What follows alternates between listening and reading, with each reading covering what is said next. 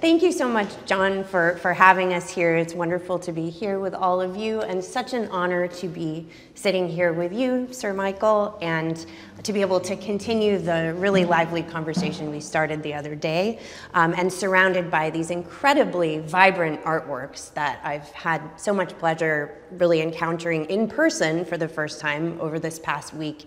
And you really do need to see them in person to appreciate them as objects, which is something that we'll be talking about the physicality of the work and of painting um, itself. And I'm sure most of you are very familiar with Michael Craig Martin's life and work, and um, we had this great biographical sketch from John. I'll just add to it uh, a little bit for those of you who may not be as familiar. Um, Michael, um, you were born in, in Dublin, Ireland, as John mentioned, not in 1841, but in 1941, um, and then grew up in Washington, D.C., or just outside the city, um, where you've spoken about the tremendous influence of American kind of post war consumer culture, seeing the design of fins of cars, for example, and that really had an impression on you as a child. Also, another detail that I think is uh, germane to our discussion and the works we're seeing is the influence as a youth of seeing stained glass. Um, and I just think about that wonderful interplay between um, sort of sharp contouring and flat fields of color that you mm-hmm. find in stained glass. So that's something we can come back to. Um, you received your MFA from Yale University, and you've spoken about the formative impact of Josef Albers' theories of color on your work. Um, his teachings were very influential during the time that you attended the program. And of course, we can absolutely see the very pivotal role that color plays in your compositions, which we'll talk about in a moment. Um, you then moved to London in 1966, I believe, and your early work is marked by your sculptural practice. So, really seminal works like the 1969 um, Four Identical Boxes with Lids Reversed, and then, of course, the groundbreaking work of conceptual art, 1973, An Oak Tree, which really explores the questions about sort of the nature and status of art and um, sort of what constitutes an artwork and an art object, and also the really um, pivotal exchanges that take place between viewers and artworks in a gallery.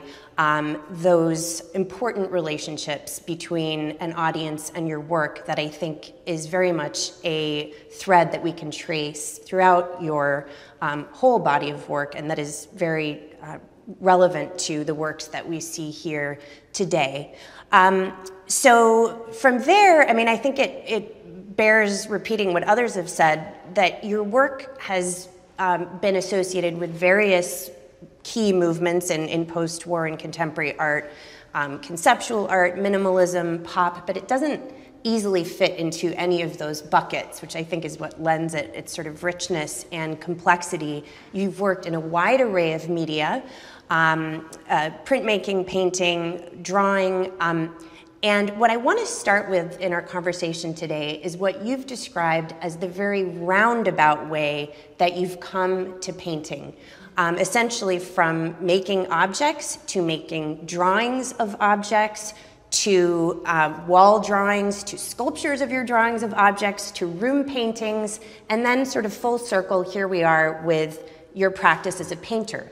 But you've described yourself as primarily a sculptor who makes paintings, and you've talked about your paintings as flat sculptures. So I'd just like to ask you what you mean by those statements, and also maybe walk us through this roundabout way that you've come to painting. well, that's quite an introduction. Where can I start? Um, well, I, um, my when I went to art school, like most kids going to art school, the, the only thing I really knew about or had any experience of was painting, and I went there to be a painter. And I was horrified because I'd, I'd wanted to be an artist since I was about 12 years old. I got this idea of fixation, and it was, just stayed with me. And finally, I got there, and then I discovered that I was really not very good at it. And I was in a school full of people who were unbelievably good at it. And I mean, what I mean by painting was painting, you know, paint, painterly painting. This is the early 60s, and there's still the remnants of um, abstract expressionism. And uh, the things that interest me are slightly, are they slightly different. I, I discover Albers when I get there. Um, Albers Homage to the Square. I'm also aware of people like uh, Stuart Davis. I'm aware of Ellsworth Kelly. Uh, there are people who at that time were called hard edge artists.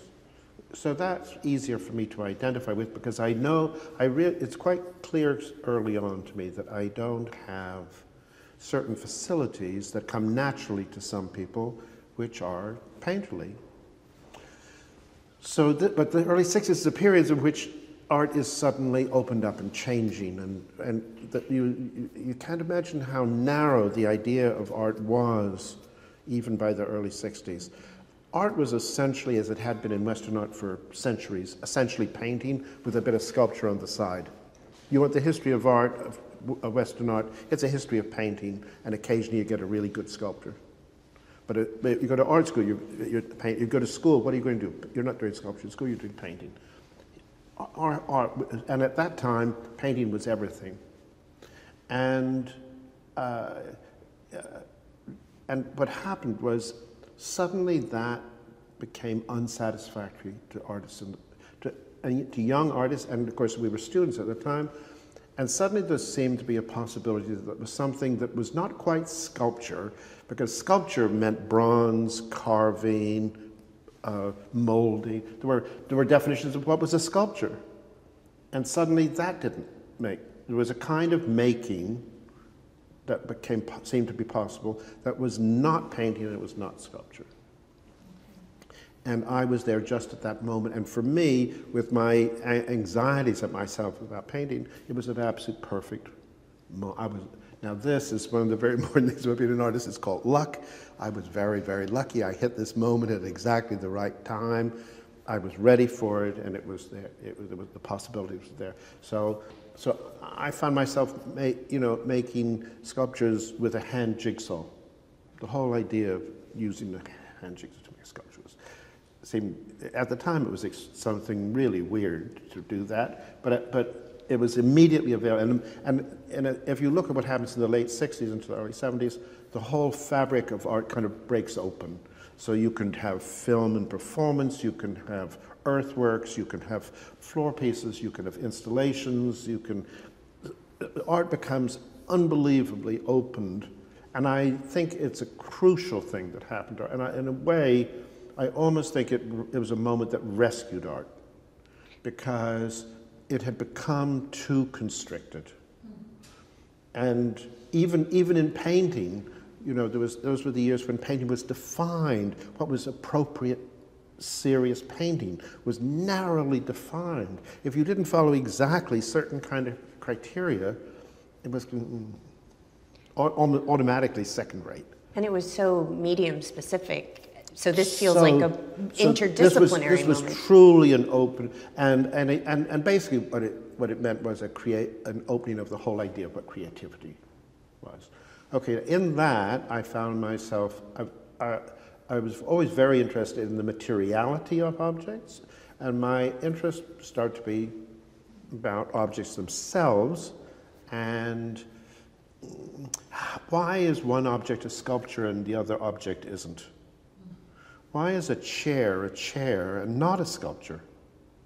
How do we know? How do we tell the difference? What is it, what is it about one? They're both physical things, they're both objects in the world. We look at one, we look at the other. We know that's not an art object. And we, so that interested me a lot. And I got interested in the idea that most art that had used real objects, including Duchamp's uh, famous fountain, the urinal, you weren't meant to pee in the, in the urinal. and, and I realized that one of the things that happened when things were transposed, objects were transposed into art, was that the artist removed its function.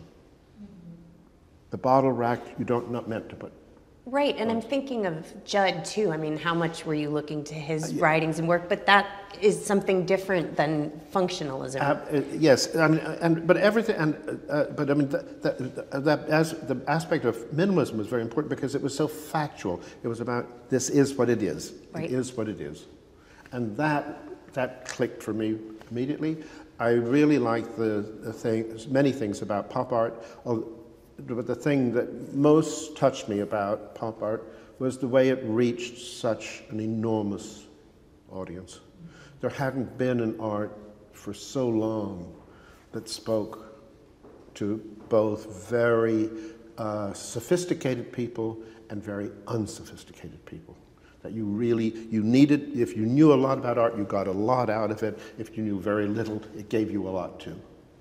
And that's something, you know, which to me, I look back to Renaissance art. You go to, back to the, the great artists of the Renaissance.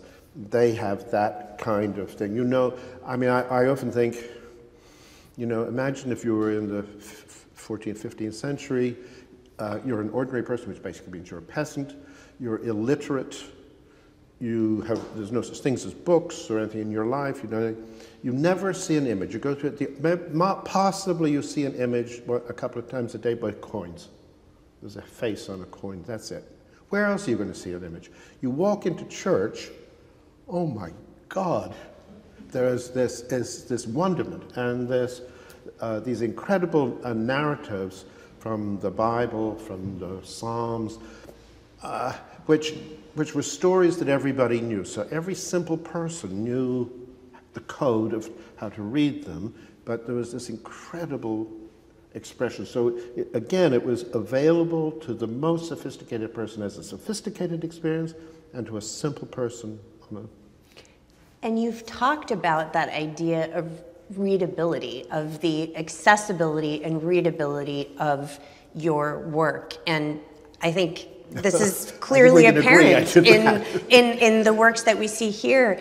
What's fascinating is at the same time you complicate that notion. So we can walk in and immediately understand that we're looking at an image of a trainer, of a shoe, of a bunch of grapes, of a camera. But the more time you spend with the images, you're aware of the strangeness of your understanding of them and of the representation of them. So you're kind of complicating these ideas of um, perception, or you're really asking the viewer to, to think, you're sort of startling the viewer into thinking about the very act of perception. So, that, yeah. Yes, that, that's, that's absolutely the key to what, what I try to do. I mean, I do, you can see, I do a work which is aggressively obvious in terms of subject matter. People's understanding of art only through subject matter is the greatest mistake that people make. Art is, the, the subject matter is a distraction, usually, and certainly is. In, I'm, I'm really interested in these things in a sense, and they're actually of no interest to me at all in another sense. My interest is in how is an image perceived? How do you what is it, what happens when you take an object, you take a shoe, which has its three-dimensional reality and you know what it's for and you wear it, and then we have this miraculous ability to turn, to create a flat picture of the thing, and we look at that and we see, that, and when we look at it, we don't first say picture, we first say shoe. It's so powerful to us so every one of these images, I'm wanting you. I'm using what you know. And, but when I, what my premise is that this incredible gift of being able to read images, we learn it as infants. And we learn it so naturally, so easily, we don't realize how unbelievably extraordinary it is and how sophisticated it is about what it's allowed to do. All of the, all writing, hieroglyphics, um, Chinese script, all started with pictograms. It all started with making images of things. It then dissolves into uh, symbolic abstractions, but they start from pictures. everything starts with pictures. And that's, so, in a sense, what I'm trying to do is make you self conscious of the act of turning it into a picture. Uh, that's, that's why they're so assertive, was to say, this is how a picture is made. And all the things I've done, I've taken things where I take a single image and put it in the middle of a canvas. I, I take an image and I fracture it at the edge because you can fracture at edge. I make a thing bigger than life. I make a thing smaller than life. I put things together in ways I, you know, I've, if you can look around, I've, I've played with every, every one of these things is a, a, a, a device which, two, which turning something into two dimensions allows. And the first thing, that, one of the things that happened to me was for the first 10 or 15 years of doing this, I only did it in drawings and I didn't use color. And then there was a moment when I first used color, and the thing that floored me was the audience response to the color it was so overwhelming. Um, their pleasure and their emotive response to the work. I had never had that response before. So then I realized, and, and you know, in a sense, I've been, I've kind of pieced together the whole experience of, of, making pictures because I, you know, as I said, I, you know, I end up with painting, but I, but I also, uh, I start with drawing, and then I'm trying to use all the possibilities of painting, and I haven't used color. And then you use color, and then, of course, color is the key experience. So you've said that color specifies the image. Exactly. Which I think is a wonderful and, phrase. And you see, I you see if if, if I have uh, uh, you know any object that's made out of two or three materials, we the material we understand the material difference between leather, wood, paper, cloth, right? In paint, that's the difference between pink and red and blue and green. That is how you describe physical difference. In a Rembrandt painting, the difference between flesh, a ruffled lace collar, and a velvet jacket is the color. That's how he does it. That's what art, that's what art does.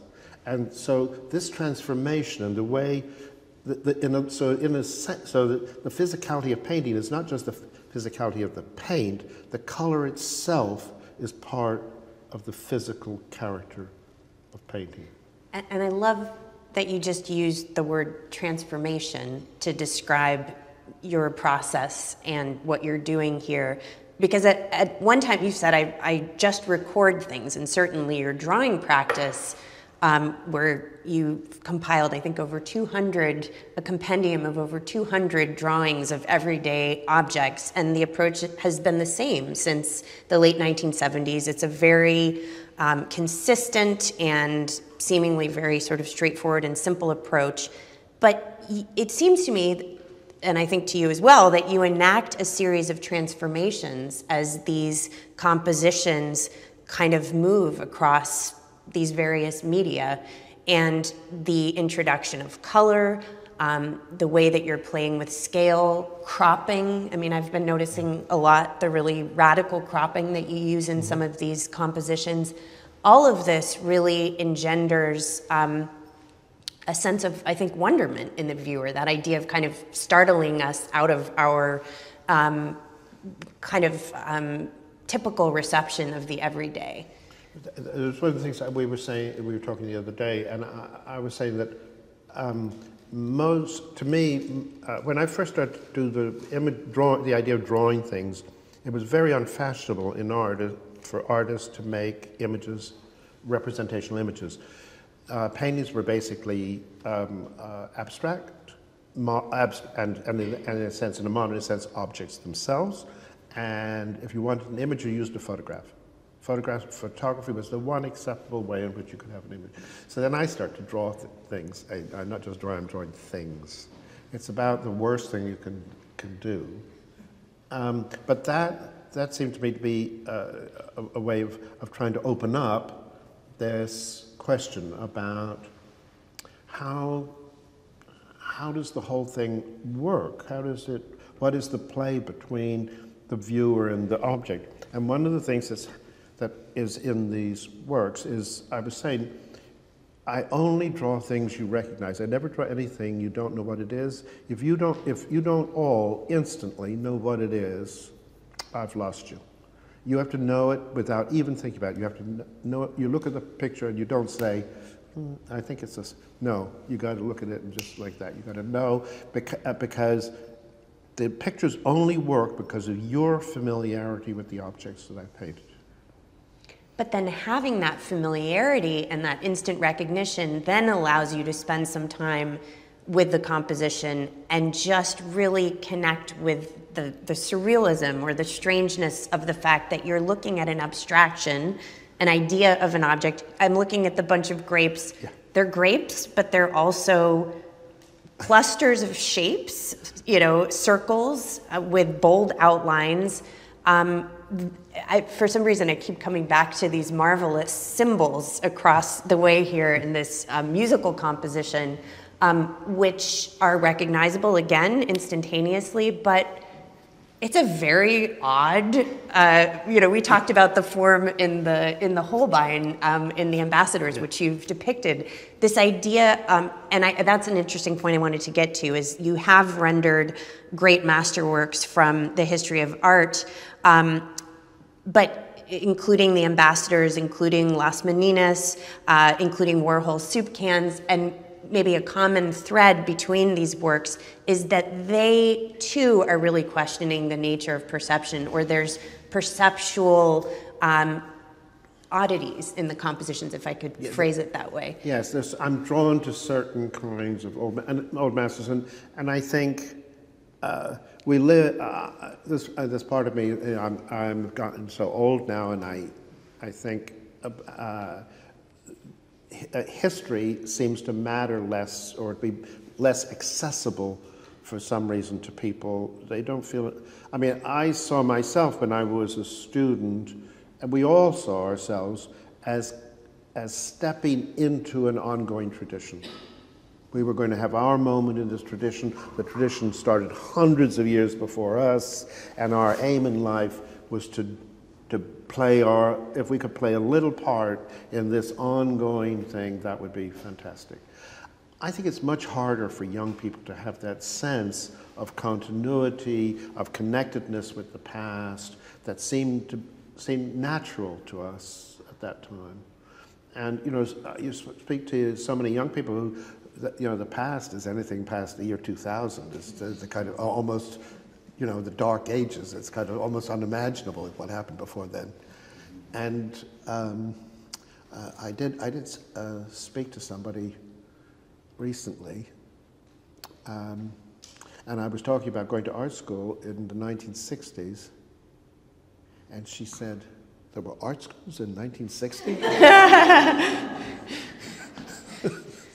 Well, I think that's a, that's that's a, a, both horrifying and a, and a great segue. I mean, you know, I think I, I would be remiss to not point to the tremendously influential role that you've played as a teacher, of course, at Goldsmiths College in London, shaping a generation of British conceptual artists, the young British artists, famously Damien Hirst, Sarah Lucas.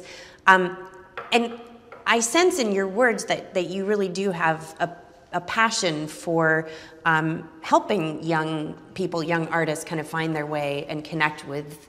I, I do, I do, and I, uh, you know, I, I, I think I obviously have some kind of natural ability in that, but it's, I've never meant to be a teacher, and I don't like to think of my work as didactic in any way. Um, but I did get, when I was teaching, I did get fascinated by the idea. I'm, I'm very anti hierarchical and anti specific. To me, the, the, the great gift of art is absolute diversity. There art, it is an art everywhere in every single person. Every one of them is different. Every art is always, to me, an expression of somebody's somebody's experience of the world. Mm. And, and everybody's experience is, we're, is we're, all, we're all so much the same and we're all slightly different, and that difference, that's where art comes from. Mm. And so um, when I was teaching, what came to fascinate me was how different my students were and how to give them the confidence in their own uniqueness And one of the odd things about people that I discovered is that people often undervalue the thing they're best at because for them it's easy. The thing you're good at is, a, you know, and let's face it, learning, we've all taught from the time we're little kids, learning is difficult. There has to be a bit of pain involved. And if there's not, you can't possibly, you're not making an effort, so, it, so that can't be important. If it comes to you too easily, it's not valued. And a lot of what I became involved with was trying to get people to value their own, you, the thing that they were drawn to, the thing they were good at, the thing, because otherwise you spend your whole life trying to be good at something that somebody else is naturally good at. It was like me. I, if I could have spent my whole life trying to become that kind of painter I wasn't, and boy, would that have been a waste of time. Yeah, You know, no, absolutely. you, uh, you can't do it. I could never be somebody else. I could only be who I am. And so you have to find, you have to gain, and so a lot of it is to gain confidence, but also to, to acknowledge in yourself what it is that you like. And, it, and making art is essentially based in pleasure. And you know, if, if, if it's not pleasant at some level to do it, It doesn't mean it's not hard work. It's got to be, but it has to degree of pleasure. How are you going to sustain a life doing that? It's not possible. It's not humanly possible. so it's kind of a process of self-discovery Yes. more than anything. Yes, it is. And, and, and you, I I always describe it as somebody finding their voice. And some people take a very long time to find their voice, and other people amazingly find it very young. The people I, there was a group of people I taught who were all 20 years old, around 20 years old, and they found their voice really young, and they were able then to build that into success. Do you think we're at a moment in terms of artistic education? Because you mentioned that there, there isn't sort of a dominant paradigm and that there's much more of an openness to a whole range of styles. I mean, do you think in a way that it would be easier as an artist to make one's way now in that kind of climate where you don't have, you know, Clement Greenberg breathing down your neck? I, I think I- think it was easier before. I mean, it was more difficult and easier. When, when, when you can't have radicality without orthodoxy. Hmm. We don't have any orthodoxy anymore. Therefore, we're not going to have any radicality because you can't. How can you be radical in a situation where everything is permitted? Mm. I mean, it's a it's a non. There's nothing to push against. There's, Yeah. no, there's nothing to push against. There's nothing to do that's wrong, that's forbidden. That's you know, and so I think that makes it very difficult. I think that makes it very difficult. And It, it, just thinking about that idea of pushing against a, a paradigm, um, in terms of the arc of your own career and the various permutations that your work has taken, it strikes me that there's a process of sort of pushing against or questioning um, an approach or um, a, um, a medium that you've worked in before. So, for I mean, the kind of predominant tension that you find between two and three dimensionality across your work, which I think is fascinating, and I'd love to talk about more. Moving from the sculptures to the drawings of objects, and then to these sort of environmental installations with drawings, where you've even said a room painting is for a viewer an experience of walking into a painting. Your sculptures that you've created based on your drawings of objects, which have such a two-dimensional quality. I mean, if you see them in profile, it's like you're looking at a line. They're, they're drawings in space. So is there a sense that you're sort of constantly perhaps questioning or pushing up against what you've just done? Or how does, how does that tension sort of play out in your own? Well, uh, I mean, as, as uh, in the first part of my uh, work, I, as I said, I used real objects. I, I, some, some things I made objects, and sometimes I used existing objects. And then in the late 80s, I had this thought to, to, to make images of things, and I didn't really know quite I didn't have an idea. I've never had an agenda. I don't have. I never had a plan. I never had something I was trying to get at or something. Uh, I, I had certain thought. Of course, I had certain thoughts about what I'm doing, but see where it takes me. And that's what. That's how everything I've done has happened. That and every time I've thought. Every, I've I've been through every door there is in this thing that I'm doing. And suddenly, just as I'm about to think, oh, that's it, another door open. I see some other possibility, you know, and I've gone through the other door. And so the thing has the thing has unfolded for me. And um, I mean, one of the things that you know that the, the sculptures, which are just they're made in metal and they're just they're line drawings. And what's you see, because what what what, what really interests me is two dimensionality. And so I'm the artist of two dimensionality. So even my sculptures are two dimensional. Mm. And, uh, you know, so when you read one of my sculptures, if, if you look at uh, Michelangelo's David, it take, he takes the form of a human figure and you associate what you're looking at with, with what you know of the physics, because he's imitating the actual form of the human figure. You look at my sculpture of an umbrella, it doesn't look anything like an umbrella it's it's just flat lines and uh, you know and and yet you look at it because I it's a it's a sculpture of a drawing of an umbrella. It's not a sculpture of an umbrella. It's a sculpture of a drawing. So you read it as two uh, in two dimensional terms, and in two dimensional terms, it's very easy to read. Right, and it's complete. Your understanding of the image is also completely, of the object, is also completely contingent on your shifting relationship to it. You can move around it and experience all these different um, sort of uh, um, kind of volume or flatness depending on where you're standing in relationship to it. So again, it's that exchange between the viewer and the artwork. I, I think this question, you know, as I've tried to say, uh, for me, it's always been about the viewer, the, the role of the viewer. I mean, it's a, it, it's an, uh, obviously an, a famous uh, understanding about art as a negotiation between the viewer and the artist through an object. And that was really what the oak tree was trying to do, trying to try, trying to play this, and that and that's what I've uh, I'm I've tried to do that with everything. That's uh, and I, uh, it, it does make sense to me for them to be no, to make, on the one hand, I make everything exactly as I want, I don't care about any of you. And on the other hand, to make something without a sense of being an audience is meaningless to me.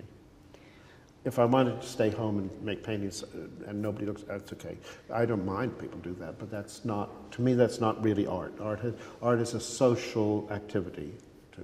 Right, and then you think about the work you've done with sort of more um, environmental installations, with the wall drawings, with the room paintings, with curatorial work um, at the RA, you know, um, really sort of being involved in how artworks are shown.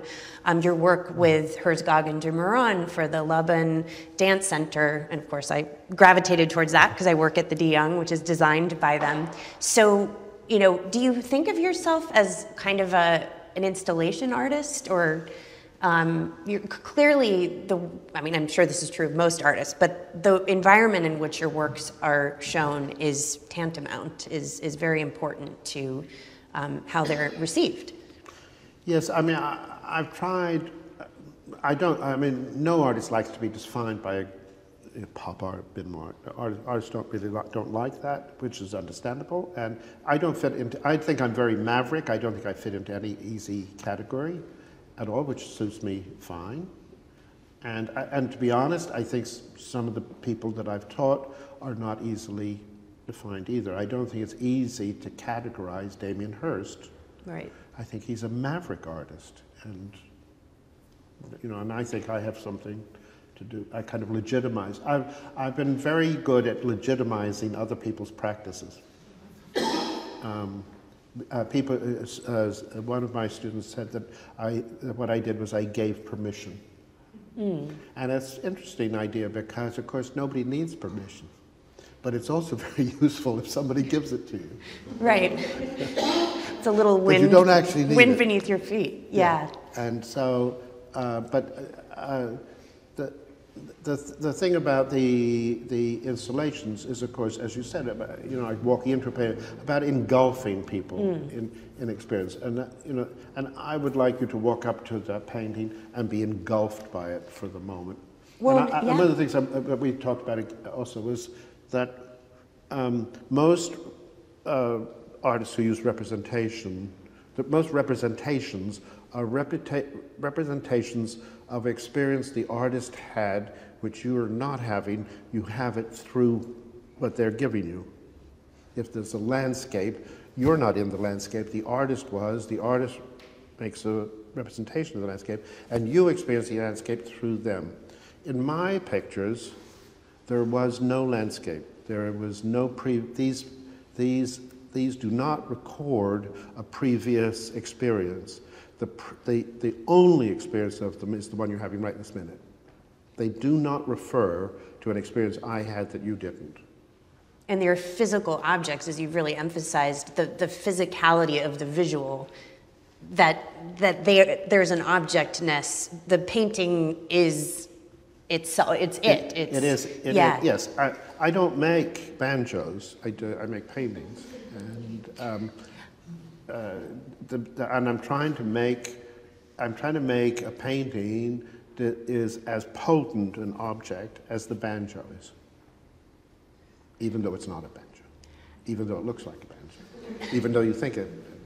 And maybe we could talk a little bit about the choices that you make to enact these um, transformations and, and engender these experiences in the viewer. I mean, I was struck um, just before we sat down in thinking about the simplicity of the forms, but at the same time, that's in tension with certain you know areas that feel quite detailed. And and you know thinking about the grooves on the bottom of the shoes for example um, you know how do you make decisions about what details for example to really work or highlight versus the the streamlined qualities of other areas of the composition. I try to put in as much detail as my technique of drawing allows. There's certain things I've never been able to draw because, I mean, I've never been able to draw a comb. There'd be too many, too many vertical lines. but i think you've drawn a plate of spaghetti or I have drawn it, but that took, it took a year. Uh, so it was, I won't do that again. But, but, it, it, so there's certain, there's certain things I feel able to draw and certain things that are not. It was, uh, it, it's quite easy to draw the trumpet. It was very difficult to find a way to draw the saxophone.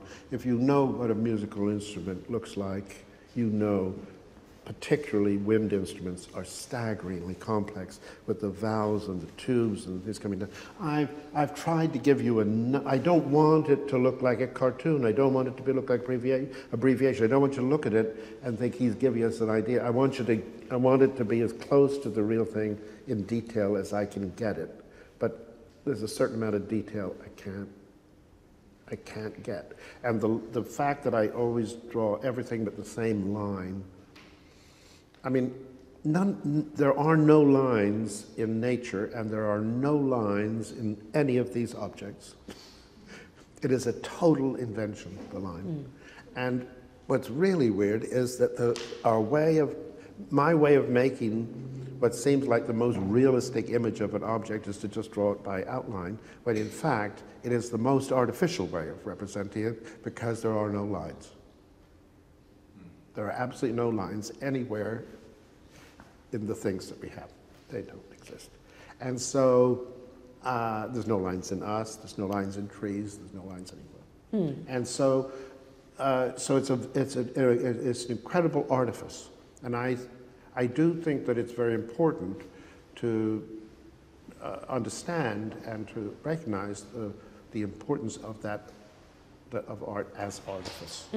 absolutely And that, um, I mean, I, you know, the, uh, when, I think when the cavemen were doing pictures of a bison on the walls of caves, it must have been so incredible to them because they had realized, first of all, that they could do it, but also they could make the bison that big. Mm. Now, that's a leap of imagination if a bison is gigantic. but you can make it that and you still know it's a bison. It's not a little bison. And it's an abstraction, fundamentally. And it's, it's, it's, an abstraction. abstraction. Yeah. And yet there's enough there that the presence of the bison has been conjured without the bison being present. Yeah. And that's exactly the same. It's exactly the same. Yeah, it, and the, the tensions between flatness and depth, I think, are particularly because really fundamentally these are very flat artworks but you have you know an interplay between foreground and background and particularly in the compositions where there's overlapping forms you feel that. And we spoke the other day about stuart davis who really popped into my head especially when i was looking at your compositions of musical instruments because my mind went to davis's marvelous um, uh, depictions or evocations of jazz mm-hmm. with their, you know, incredibly vivid colors and sort of cacophony of, of forms um, that evoke that, that sense of sound and energy. And I guess I'm not quite sure where I'm going with that. Maybe you could riff on that a little since we're talking about jazz, but also this idea of, because I think the musical um, objects are fairly new for you. This is a yes, new. I, body of work? I mean, I can tell you that. I mean, I, I did draw a few musical instrumental things like guitars and things. And then I got a commission to do a dinner service for a great house in England. And um, they wanted me to do a full, a big dinner service. And uh, so I wanted to have an image, images for the plates and cups and all the things. And I, but I thought, I don't want them to just be different things. They should. So I suddenly realized if, if I made them all musical instruments, it gave a single form to the set, and at the same time, everyone could be different. So then I needed to start drawing musical instruments, which I'd only drawn a few of before, so I drew, I drew more and more. So that's where, that's where the musical instruments came. But musical instruments are very, are very interesting because I never draw things that aren't new. I don't really draw antiques. And I don't draw anything that's broken. I don't draw anything that's worn out. I don't do. I want everything to look perfect, everything to be, everything's new. I mean, I want them to look like they're, they are when you buy them. And the things we buy, the things we make for ourselves, they're all manufactured, and manufacturing produces, to have repetition, you have perfection. My drawings are not more perfect than the drawing I've drawn, than the object I've drawn. They're just in the same vein. And I don't want them to be personal in that sense. So just like when I buy an iPhone, it, my iPhone's the exact same as your iPhone, but it's very personal for a different reason. And you can't have mine, and I don't want yours because they're personal. But the thing, the object itself is identical and perfect. And so it, it seems, yeah, I've got lost my track.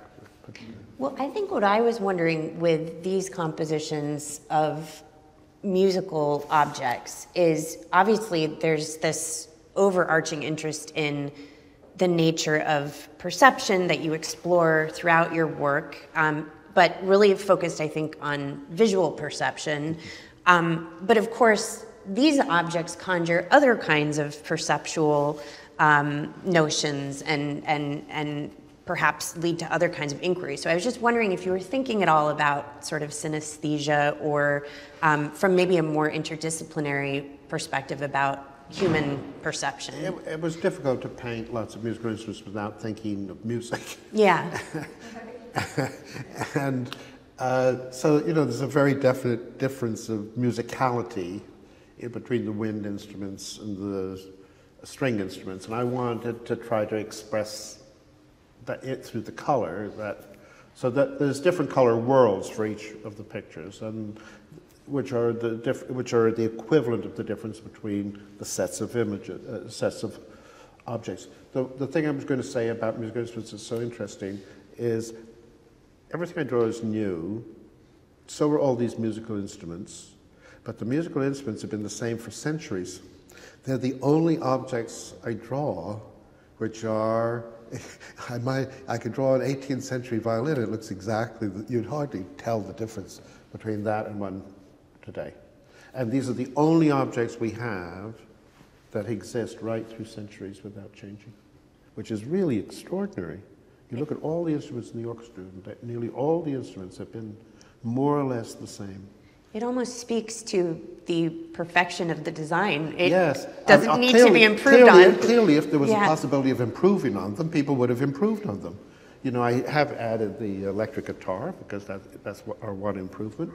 But other than that, which, which is quite but different. That's in, but that's in, that, to me that's very interesting, and I I like the idea that there are these there are a few objects.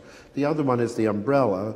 The umbrella is a kind of 19th century. It's, it's the one we use is a kind of 19th century invention, uh, but it they have nobody's improved on that really. There's different varieties of how they open and things like that, but it's all essentially the same. So that's another. That's one of the other few objects which has maintained its form unlike the technologies that you've depicted over the years, which, as I think you've noted, kind of provide a record of our shifting relationship uh, to them. So, kind of tracing the move from analog to digital technologies, for example, because you've been drawing them since 1978, I believe. So, um, there you really see this kind of rapid evolution in terms of design and use. And I think that's fascinating. But then, of course, technology also plays a role in your process. So I wondered if you could speak a little bit about that. For example, how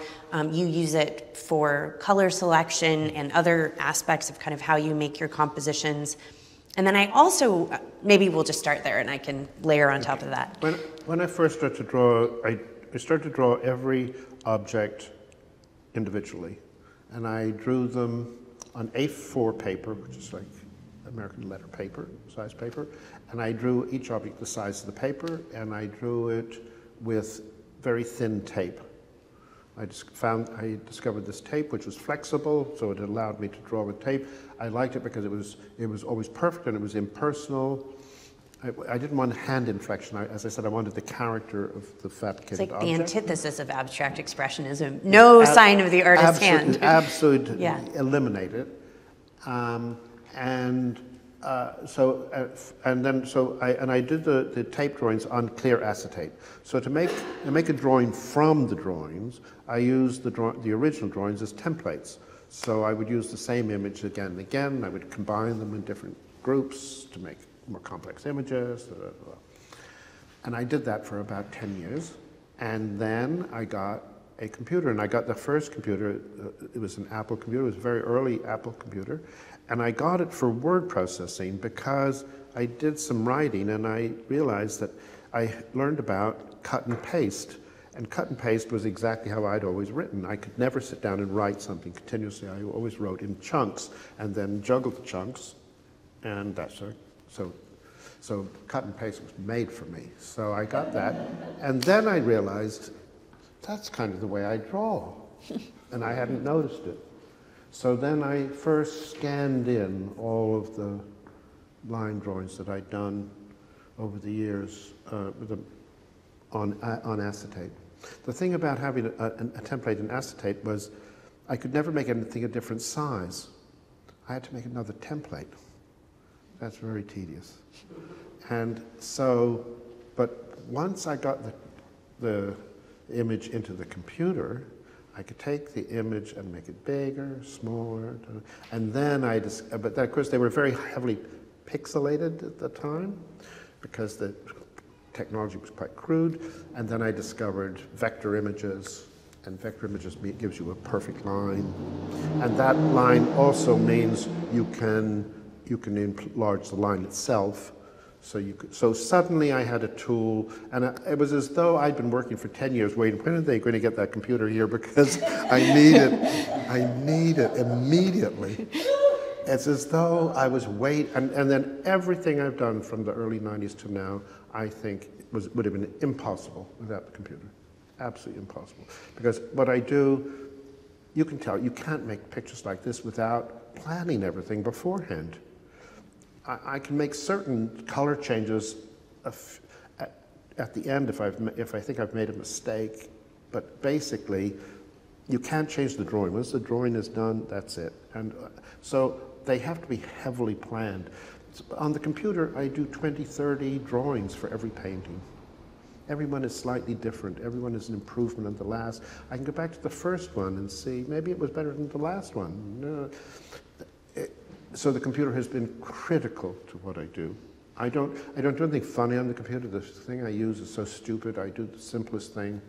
I don't do anything for effects. I never use Photoshop for anything. I never use any of the fancy things that you can use. They don't interest me. I just use the very simple thing that it does. And it's the same now that I was doing with them when I started. What about the translation of the sort of map or the plan that you work out on the computer to the actual physical object, to the painting on aluminum, which is, you know, mm-hmm. I'd love to talk about your use of that support. Um, was it a challenge or did it take some adjustment to conceive of how the image as you saw it on the screen would feel in an object form in, in real life? Or how do you make those well, kind of the, determinations? From the very first acetate drawings, what I did with the very first acetate back in the 70s was I would make a composition, then take a 35 millimeter slide of that, and project the slide mm. and do the drawing on the wall large. It was a simple technology and it worked absolutely fine. Uh, so the idea of, of working on something which gives you something else, and then you that and that and you end up with a final product which is not any of its immediate stages. That was very familiar to me. Um, the thing about the uh, the computer was that it allowed me, for instance, to of course to, then when I came to adding color, suddenly I had the whole world at my disposal in terms of color because I could make all the color decisions early. I mean, before I had, before arriving at, at action of, of turning it into a work. And um, so again, all the, I, I, mean, I've always been interested in uh, technologies as enablers, um, but then I think artists always have. Of course, absolutely. Um, and I think Hockney's analysis yeah. into the um, old master's use of technologies is a perfect case sure. in point. Um, what about the aesthetic of technologies and the sort of changing aesthetic of technologies? You know, we talked a bit about this the other day, but the flatness of digital imagery of an iPhone, they're getting they're shrinking. the profiles are, are, you know, getting more and more two-dimensional. Mm-hmm. Um, the way that UX designers um, array apps on a screen. I mean, there's, it seems to me there's that similarly strange kind of um, uh, uh, tension uh, between two and three dimensionality that is, is a, a, little bit of a visual puzzle, if you will. Well, when I started drawing in the 70s, it was still, we were uh, analog age. And in the, most of the 20th century, the, the, the, the design theme was form follows function. A thing is supposed to look like what it does. And you should look, be able to look at an object and knew what it did. And I always give the example, the most obvious one was the telephone. Remember the telephone? That was an old fashioned thing. It had a handle had a bit here and a bit here, and you held it up here, and this bit was right near your mouth, the other bit was right near your ear, and you listened in here, and you spoke in here, and somehow it went down the wire, and we didn't know how that happened. And it, but it worked. It was, we understood. You could. It was an absolute visualization of what, what was it happening. did. Yeah. Now we have this. Where do you speak? And, and this, I might add, which is miniature. where do you listen? yeah. Uh, it's also a computer, it's a camera, it's, a, it's 25 objects, 30 objects, 40 objects in one, and it's totally bland. The, look at it, it's boring, bland object, and it's a miracle. It's an absolute miracle. And so there's been a change in the whole nature of objects. in the last 30 years. This is not a minor change. This is now things, it's completely unnecessary and for anybody to even think in terms of form following function. I mean, just it's, it's almost nonsensical. You don't need to do that. Uh, if anything, it's probably best to avoid it. And so I'm, I'm also very reminded, when I, was, when I was a student, we were very influenced by certain people. And one of the people we thought a lot about and we admired enormously was Buckminster Fuller. Mm. And Buckminster Fuller said in the 50s that the nature of technologies was to make everything simpler and simpler and simpler. Mm. And that every stage of technology made the previous things. He was right. He was really right. I mean, it's an amazing thing that's happened with, with these things. And so, I, I, again, there's also something interesting. When I first started, my idea of, of ordinary objects was cheap objects. You know, objects that anybody could own because they were cheap. Now, if you want to draw an object, I have to do one that costs you $1,000. but everybody's got one. So what is ordinary anymore? You know, even ordinary has changed. But it is commonplace. But it it's is, totally commonplace. Yeah. This is a, an absolute, it, it, you, you have, if you don't acknowledge this as a commonplace object, you know, I mean, so uh, even our idea of what constitutes ordinary has changed. And the, the question of the nature of, eh, of value and eh, you know, all those things. There's another one which you see a lot in, in, in some of these things, the question of branding. I mean, uh, I'm not interested in uh, selling trainers for people, but I mean, one has to say, to, to, to, to make this shoe without the logo, the, without the logo, yeah. it's not the shoe to make the phone that's not, I don't, it's not just a phone, it's an iPhone. That you can't do them anymore without acknowledging the consumer, the, the consumer aspect and, yeah. the, and the branding. The branding has become part of the nature of the object itself. That was not true in the past. Which is an abstraction in and of itself, in, in, and our reception of that information is a form of abstraction or making sense from an abstraction. You can, and you can certainly see that it makes a lot of sense commercially to make something where part of the nature of the object is your is your it is the object is your own logo. Right. and that's obviously we need marks in the room. I think commercial, commercially very sensible, but but so uh, you know, and so something I would I, I would might have avo- tried to avoid years ago I've given up. I think you, I can't, you can't, doesn't make sense to do that. So I, now I just accept this is what, the way things are. So are you still finding new objects to draw and building out that 200 plus repertoire? You're, you're, you're wrong about the 200. Oh, is it? What, where are we we're, at? We're up about 800 now. Oh my, oh, I, okay. I thought, I thought there would be more. I mean, I have been doing it since 1978. Yeah, right. But I, it's interesting. The vast amount of objects are variations of objects. Most objects are variations of a, of a comparatively small number. Um, uh, one of the objects, the most interesting objects, of which I've drawn many, are chairs. Chairs are really interesting objects because they've been made out of every single material that you can possibly think of. There is I cannot think of a material that somebody has not made a chair out of.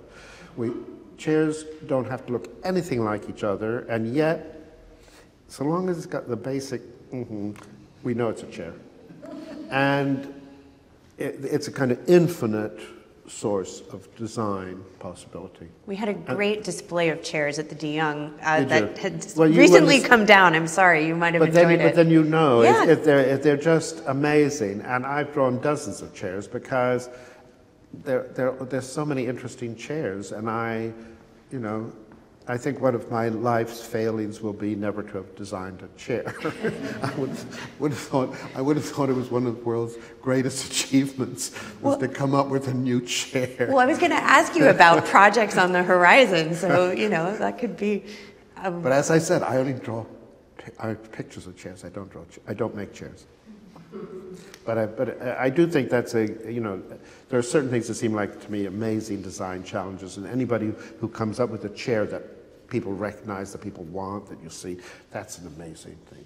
Well, they're also wonderful carriers of aesthetic and socio-historical meaning. Yeah. I mean, it's a perfect example of where, um, you know, function and artistry and cultural context kind of come together. Um, you know, thinking of a shaker chair versus a rococo Yeah, chair. yeah, or, yeah, they're, they're you know. amazingly expressive, and Yeah. and and, and their material material differences. Amazing. There was something. This is this is aside, but the, uh, something I always like to say that we, we were going back to old master paintings and paintings from the past. Um, uh, I have to tell the story. When I was a student, I had a, a very good artist tutor who, and I said to him one day, I'd been to, uh, probably in New York, or maybe I'd been to the Met or something, and I said something to him about how I'd seen these wonderful old master paintings and how they cast one, they gave one a kind of vision of the past, a window into the past. And he said, no, no, no, no, no. They don't. He said, that's not what they do. What happens when you look at an old painting and you respond to it as art, you pull it into the present. And I think that is so wonderful as an explanation of why a painting that's 500 years old can be a living thing. When you turn it into art, when you look at it as art, not like an antique, but you look at it as art, it becomes alive. And to be alive, it's you doing it. Again, it's the audience. It's the audience doing it.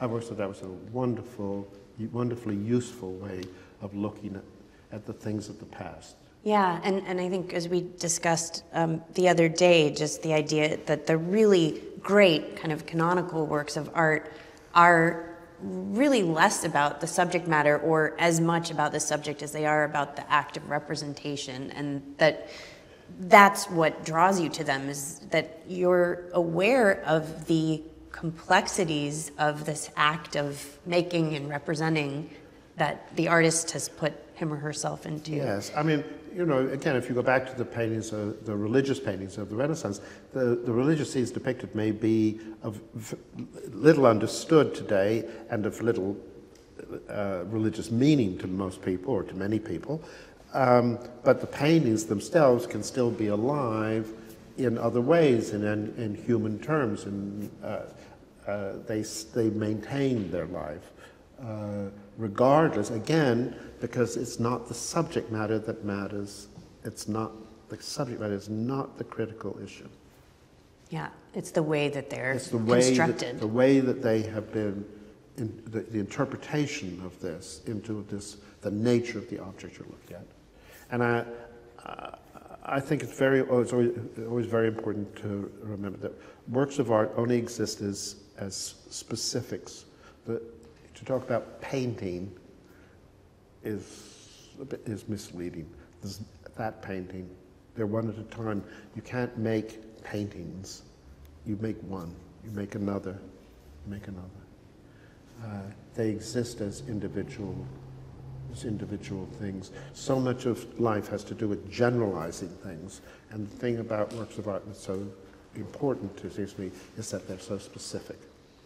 Yeah, and, and getting back to this idea of the sort of physicality of the painting of the object, you've talked about how when, when you're making something, it's yours, but once it's finished, it's it's it's or it's maybe it's the viewers, right? It's whatever it is itself, and then it's also what transpires between the viewer and it. That kind of which is a living thing. And that, and that is, that, that varies from person to person. I mean, talking about the, subject matter, I know that people's response to my work is very often uh, um, dictated by the subject. If a person is interested in musical instruments, they'll like the musical instruments paintings more than somebody who isn't, or somebody who plays the banjo is really going to go for that picture, or it's going to engage them in some kind of way that's different. It will depend a lot on, on what you bring to it. And I give so little away, give so little information. They're so nominal. I'm just trying to leave room for you to bring all this stuff that we all carry. I don't tell you what size a thing is, what it's made out of, what it looks like from the other side, how big it is, how much it cost, and yet you look at any one of these things and you know all that. I didn't tell you because they're not in the picture. It's not in the picture. You're already carrying it. I'm conjuring it by giving you the image, but I'm but I'm not giving it to you. You're bringing it, not me. I, I loved a, a discussion that I um, watched uh, you have where you talked about the really formative influence of seeing an atlas, a color atlas, when you were a young boy, and just this whole idea of maps and mapping, which of course is a very abstract mode of representing, which involves flat fields of color and demarcating lines. And I mean, you can almost think of these works as maps, right? Mm-hmm. You're mapping. Uh, objects for viewers to make meaning from the fields of color and the demarcating mm-hmm. lines that are on the mm-hmm. um, support. So um, I thought that was a really interesting idea. Maps, maps, are very definitely drawings of that, an attempt to draw something which is all virtually undrawable. Yeah, yeah. No, it's it's, and then also I was struck. I mean, in perhaps you can talk a little bit about your choices here, but in some of the compositions, the objects really fill the space aggressively, I think is, is a term you've used. I think it's appropriate that they, and they appear to kind of project into our space, even though they're resolutely flat at the same time. But others, you know, just sit sort of in a more centralized way, um, flatly on, on the um, support. So how do you make those decisions? Why is the camera, you know, in my face and the shoe is not? Or I how, have no idea. Yeah, it's just kind of instinctual. I, I just uh, sometimes it, uh, it's just what occurs to me at the time that I'm. You kind of feel it. I'm doing it. Yes. Yeah. And and I, the the breakthrough with me with color was realizing that anything could be any color and that did, it didn't have to have anything to do with the thing that you were coloring. Uh, in fact, over the years, my use of color has changed, but, and it's more, I, I, the color is really now a kind of, it's part of the structure of the drawing. Um, right, you can see how I'm using the color to, to enhance the readability of the drawing. And I, uh, something that I learned from in Albers, from the Albers color course. Albers used to talk about something being a color world, and which was like a, a group, a constellation of colors that gave, that cohered in a certain kind of way. And if you look, you know, like when it, like say the musical instrument pictures over here, you can see the banjo is one color world, the saxophone is a different color world, the drum is another color world, and the cymbal is a different color world. They both have their own unities of color. They, each one of them have their unities of color to try and define them. And again, if you look at every picture, each picture is, is trying to conjure a specific. So although I use, I realize I can use any color to do anything I want, once I start a color, it starts to dictate the other colors. I, I, I can use this or can't use that. I can use, I can get rid of the original color too, but I, but so, but the, the colors have to be pulled together simultaneously. I think I've, I've gotten the go ahead to open it out to questions, and I'm sure there are many. So um, I think we'll end our conversation here. It's been delightful. Um, well, thank you so much. Thank you. And um,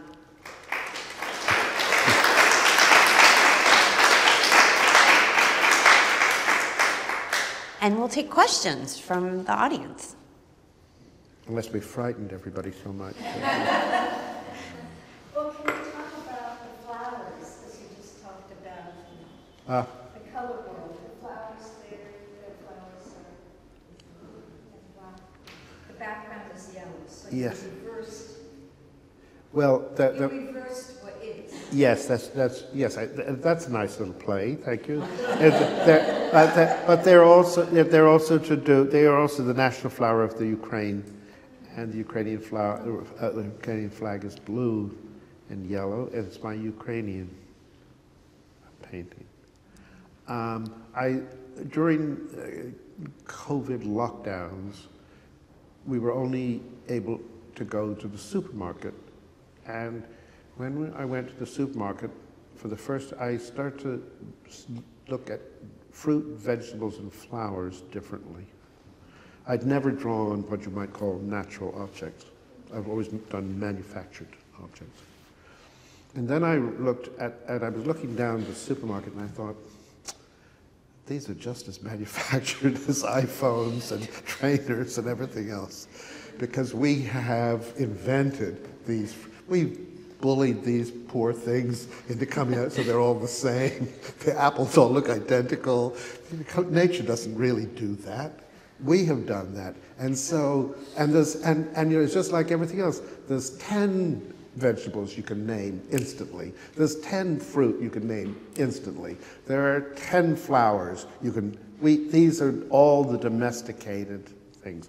We have, these are as fabricated as the other thing. So I started to draw, that's where the grapes came from, that's where the flowers came from. Uh, I've done fruit, and uh, and they sit perfectly happily with the other things, I think, because we've, we've again, they are as manufactured in. But I mean, I don't mean to be critical about that because that is our function. We are meant to do this. We do. We we are not going against nature when we do any of this. This it is our nature to do that. We are doing. We don't even have a choice. This is what we do.